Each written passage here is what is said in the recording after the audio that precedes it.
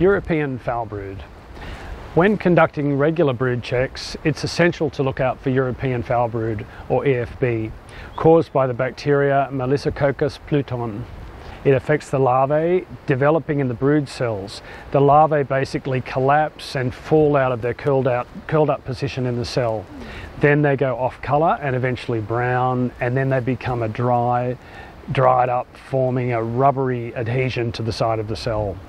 EFB tends not to consistently affect every larvae, so there'll be a scattering of healthy brood mixed with dead or dying larvae, like a sort of uh, peppered kind of effect. Basically, the larvae ingest the bacteria, which competes for food inside the larvae.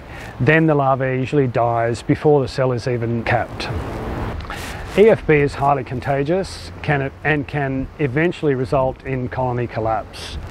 As usual, requeening regularly, replacing of old queens and maintaining nutrition with pollen supplements if required, also reducing stress on the bees can all contribute to a stronger colony.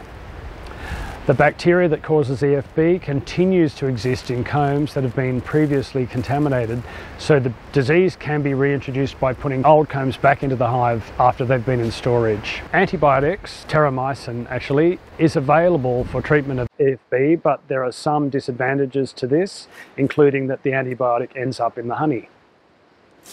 You're better to maintain the colony using best management techniques and so avoid or control infection from within.